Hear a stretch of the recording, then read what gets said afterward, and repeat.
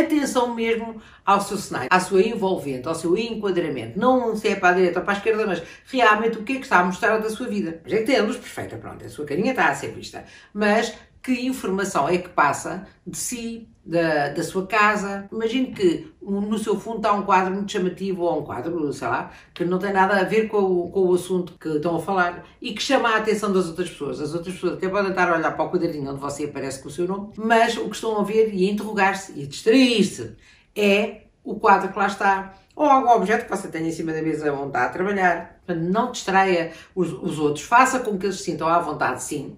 Eu, particularmente, não gosto da, daqueles fundos que o, que o Zoom nos, nos, nos faculta, apesar de serem divertidos e coloridos, mas eu não gosto, porque acho que é como se nós estivéssemos a esconder a nossa realidade mas também não gosto de ver uma pessoa a falar numa reunião encostada a uma parede, que é o que parece, branca, sem nada, como também não gosto de estar numa pessoa e, e ver-se a pessoa um bocadinho e tudo à volta, os móveis, o que está em cima dos móveis, coisas que distraem a minha atenção e eu levo a contar uma história sobre aquela pessoa que não tem nada a ver, na minha cabeça tem, para o caso. Ou seja, não distraia as outras pessoas daquilo que você quer dizer, mas também não os distraia daquilo que os outros estão a dizer. Portanto, faça parte de um todo, de um todo harmonioso, de um todo que acrescenta ao assunto que estão a falar, seja uma ideia, seja um produto, seja o que for, e não distraia os outros com coisas que. O que é que será aquilo? Mas atrás daquilo está o quê? Não faça isso. É uma coisa harmoniosa, agradável, que atrai pela, não vou dizer simplicidade e também não vou dizer perfeição, mas está entre uma coisa e outra, que atrai por ser o adequado àquela situação. Portanto, cuidado, por Zoom também,